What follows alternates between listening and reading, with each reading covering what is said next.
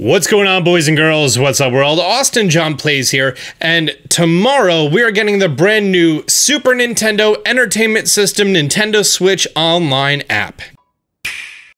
Today's Nintendo Direct marked uh, pretty much one year since the service became that you had to pay for it. And in the meantime, we got a lot of games on the Nintendo Entertainment System online service. In addition to that, we got a lot of very special additions. Like, it lets you start Legend of Zelda with a whole bunch of items and stuff.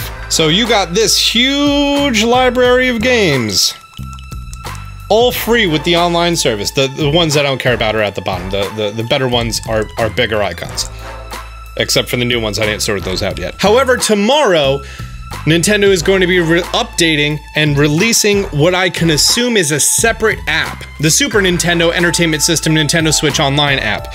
And it should most likely be right on your home screen. You'll have the NES app and then you'll have the Super NES app. At launch tomorrow, we're getting Brawl Brothers, Breath of Fire, Demon's Crest, F Zero, Joe and Mac 2 Lost in the Tropics, Kirby's Dream Course, Kirby's Dream Land 3, Pilot Wing, Star Fox, Stunt Race FX. Super EDF, Super Ghouls and Ghosts, Super Mario Kart, Super Mario World, Super Mario World 2 Yoshi's Island, Super Metroid, Super Puyo Puyo 2, Super Soccer, Super Tennis, and Legend of Zelda Link to the Past. That's 20 games that we're getting on release date, which is pretty fantastic. In addition, they said that they're going to be having more games available in the future, which is pretty awesome. On top of that, there's no additional fee.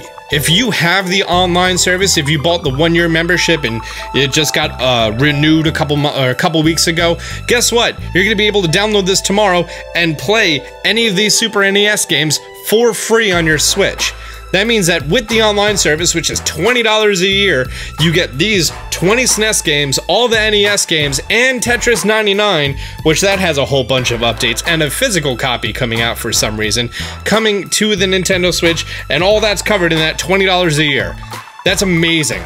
Amazing.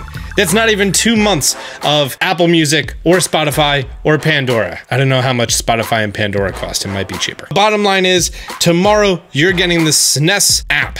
The SNES app. Snap. Also, Nintendo is releasing a Super NES controller that you're going to be able to pick up for 30 bucks, and it looks a lot like the 8BitDo controller.